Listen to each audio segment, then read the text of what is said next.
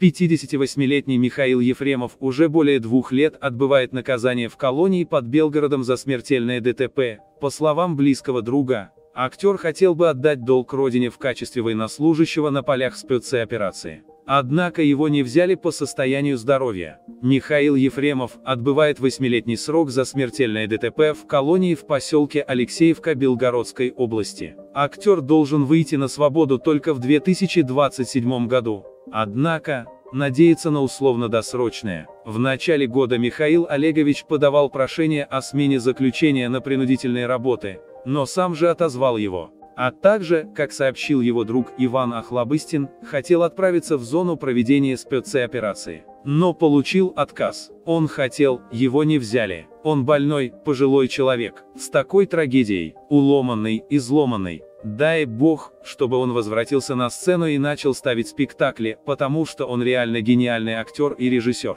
Он действительно очень хороший человек, но вот так бывает. Он мой кум, сказал Иван Иванович. Напомним, в июне 2020 года Ефремов совершил ДТП, находясь в нетрезвом состоянии за рулем внедорожника. Он столкнулся с легковушкой, водитель которой скончался в больнице. Ахлобыстин не раз просил о помиловании для своего коллеги. Он писал об этом в публичном обращении к президенту страны. Вне всяких сомнений, Михаил виноват. Он слаб, он раздавлен, он лишен репутации и будущего. Он сам себе приговор. Он не представляет никакой опасности для общества, сокрушался актер. По словам жены осужденного Софьи Кругляковой, артист может рассчитывать на условно-досрочное освобождение не раньше весны 2024 года. УДО у нас откроется в марте следующего года. Пока могу сказать лишь, что Михаил жив-здоров, страдает, переживает и страдает, говорила она недавно в беседе с журналистами.